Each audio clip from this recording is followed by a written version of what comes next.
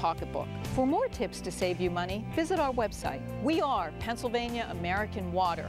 We care about water. It's what we do.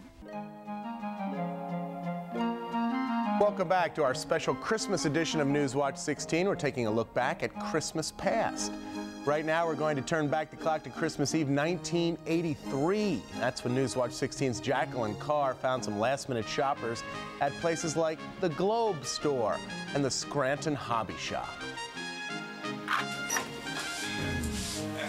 Jack Sweeney runs this Scranton hobby shop. Sweeney expected this Christmas to be a good one for both buyers and the business people.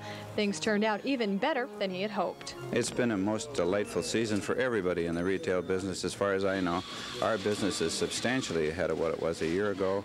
Many of the things that we bought double of for this season, we've been out of for 10 days. Sweeney says the good economic outlook before Christmas may have caused people to go out and spend more.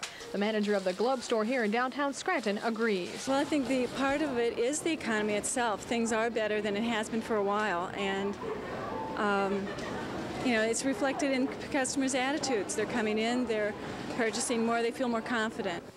Shoppers doing their last minute Christmas shopping that talked with me say there are a number of reasons for spending a little bit more this Christmas. I think more because things cost more. Uh, so far, I spend more than I was anticipated to, you know.